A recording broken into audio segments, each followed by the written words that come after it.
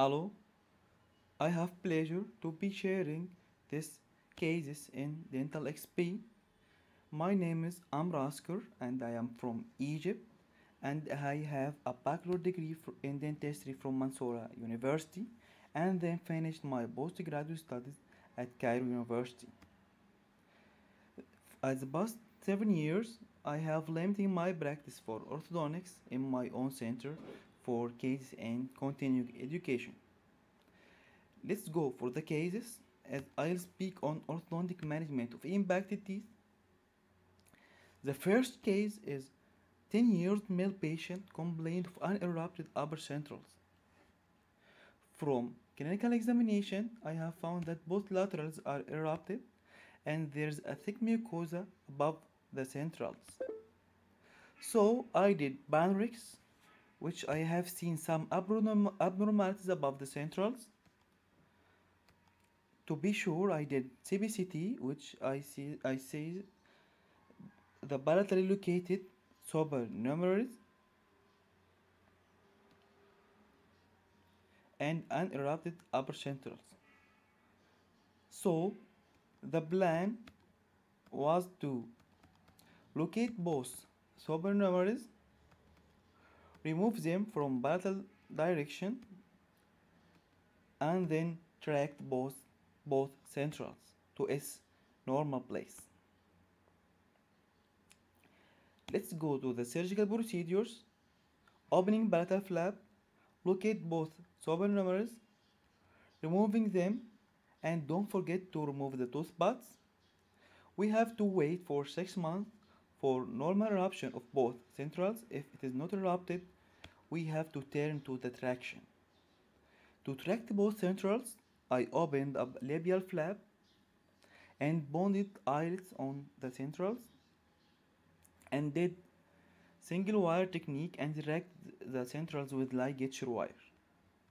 In this case, I did closed flap technique for optimum healing of the gingiva and prevent any long clinical crown appearance after the alignment.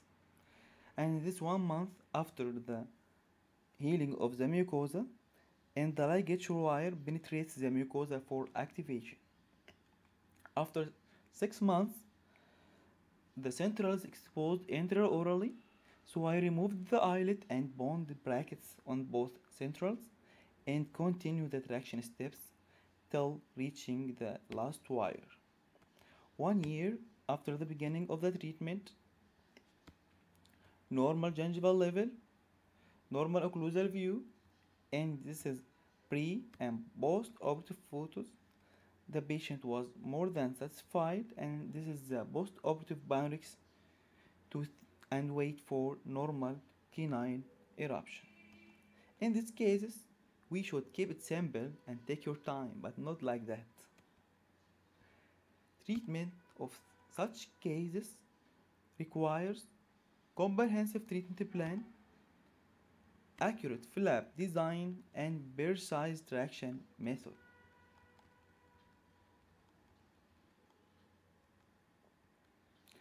Let's go to the second case.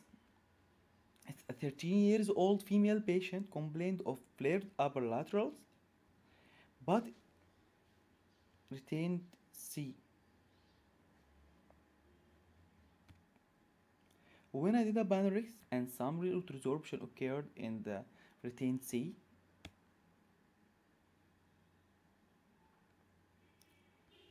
so we should locate the place of the canine.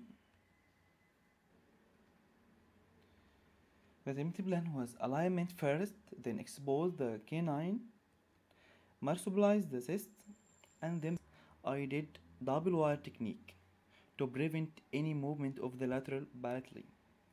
After six months, the canine began to move to its normal place. I removed the double wire technique and complete the traction with single wire.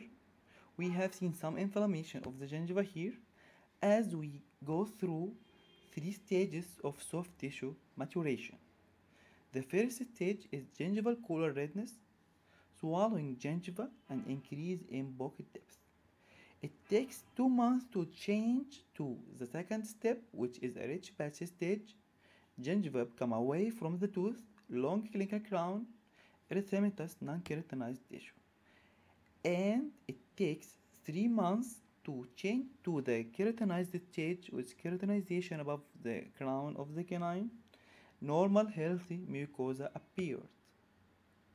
This is the during panoramic x-ray to see the development of the case. Progress occurred. Bone become to be formed in the cystic area and still no bone for no bone formed here interdentally. Wait till the bone formed interdentally between the canine and the lateral and the canine and four. Normal healing and as the bone formed in the cystic side and normal angulation of the canine. One year post-operative normal alignment of the permanent canine, normal occlusal view, and the patient was more than satisfied. Thank you for allowing to share these cases in Dental XP and I hope to be with you to contact my own email on Amra Asker email Facebook account as Asker Orthodontic Center. Thank you.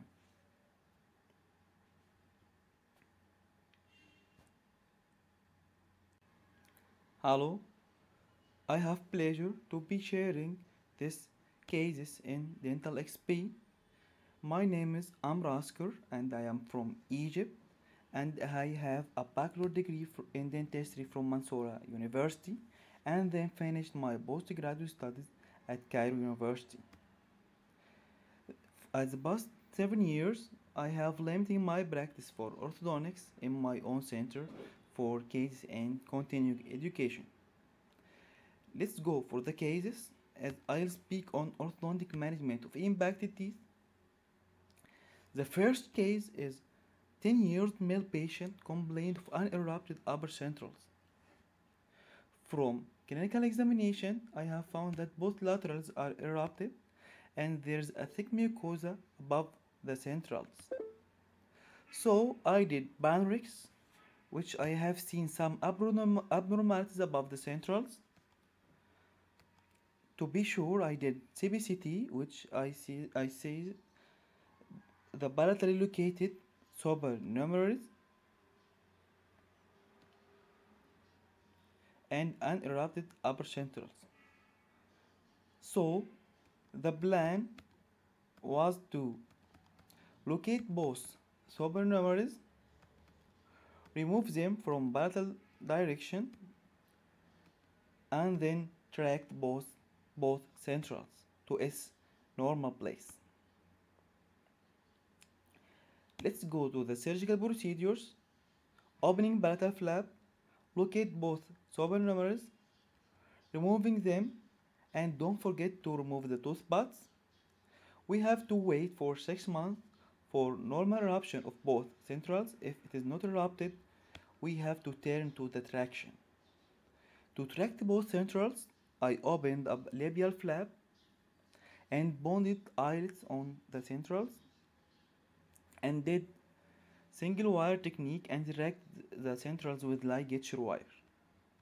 In this case, I did closed flap technique for optimum healing of the gingiva and prevent any long clinical crown appearance after the alignment.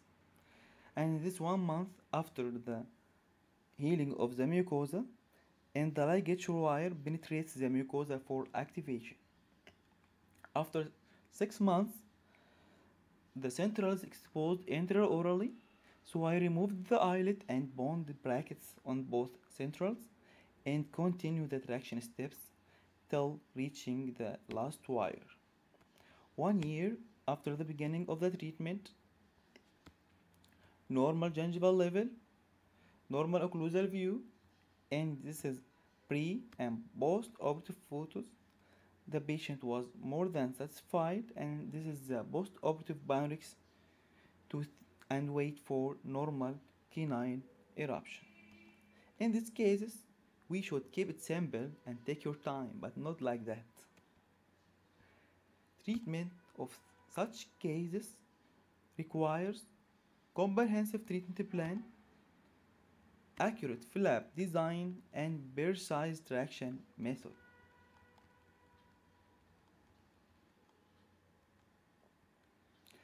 Let's go to the second case.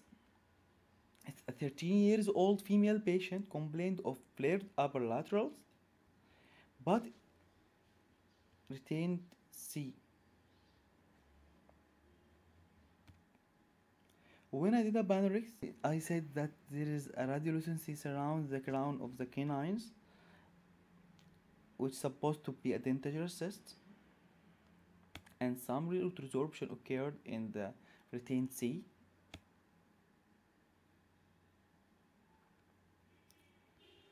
So we should locate the place of the canine. The remedy plan was alignment first, then expose the canine, marsupialize the cyst, and then begin the traction of the canine after extraction of retained C. Some orthodontists prefer to don't ligate the lateral in the alignment and when during the alignment of the canine to prevent any root resorption of the lateral but in this case I did double wire technique to prevent any movement of the lateral palatally. After 6 months the canine began to move to its normal place. I removed the double wire technique and complete the traction with single wire. We have seen some inflammation of the gingiva here as we go through three stages of soft tissue maturation. The first stage is gingival color redness swallowing gingiva and increase in pocket depth. It takes two months to change to the second step, which is a rich patch stage. Gingiva come away from the tooth, long clinical crown, erythematous non-keratinized tissue. And takes three months to change to the keratinized stage with keratinization above the crown of the canine. Normal healthy mucosa appeared. This is the during panoramic x-ray to see the development of the case. Progress occurred, bone become to be formed in the cystic area and still no bone for no bone formed here interdentally. Wait till the bone formed interdentally between the canine and the lateral and the canine and four. Normal healing and as the bone formed in the cystic side and normal angulation of the canine one year post-operative normal alignment of the permanent canine, normal occlusal view, and the patient was more than satisfied. Thank you for allowing to share these cases in Dental XP and I hope to be with you to contact my own email on Amra Asker email Facebook account as Asker Orthodontic Center. Thank you.